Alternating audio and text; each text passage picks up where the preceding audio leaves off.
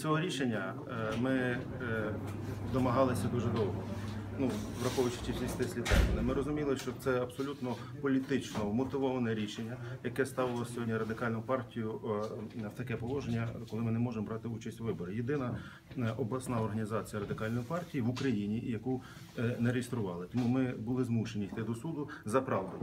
І сьогодні суд прийняв абсолютно правильне мотивовано юридичне рішення, і це означає, що ми йдемо до виборів. А зараз має засідати територіальна виборча комісія, зареєструвати нас юридично і е, вперед е, до бою. Я е, розумію, що цьому політичному фарсу, за яким стоїть зелена влада, за яким стоїть особисто губернатор Тернопільської обласної державної адміністрації Труш, робили все для того, щоб нас не пустити на вибори. Вони нам малюють рейтинги 0,4%, 1%. Так чому ви нас не пускаєте на вибори?